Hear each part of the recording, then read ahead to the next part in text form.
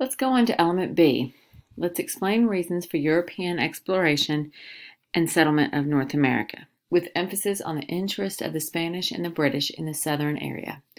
We are going to explain why the European nations explored and settled in North America. Story time. Let's figure out what the Europeans were looking for. Native Americans were starting traditions. Europeans were fighting for things.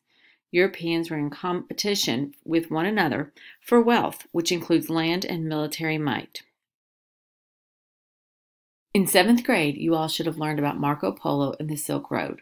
Marco Polo brought riches and spices from India. By the 1400s, the Silk Road was blocked by Muslims. No one could travel due to the Muslims and the bandits.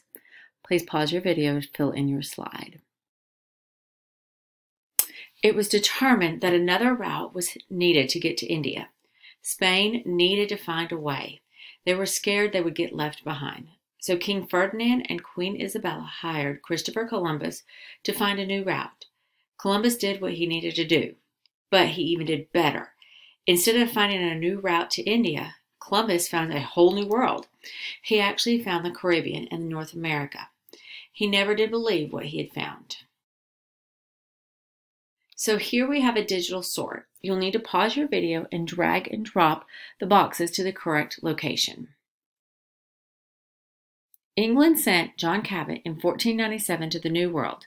England settled in the northeast of what we now know as North America. Areas like Maine and Massachusetts, what we call the New England area today. They were looking for natural resources like fish and forest. Please pause this video and move your boxes to the correct spot. France sent over Samuel de Champlain and Sieur de La Salle. They settled in two places, one in Canada and the other in the Mississippi River region, what we now know as Louisiana.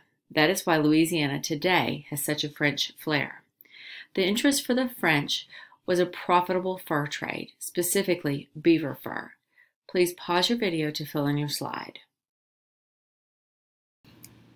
So looking at this map, we see where Spain, France, and England settled or colonized. France was here in Canada, and then they also settled in the Mississippi River region of Louisiana. England settled in the northeast area of the United States, here in what we now know today as the New England states. Spain settled in what we now know as Mexico, and also in Florida. Please pause your video and fill in your slide.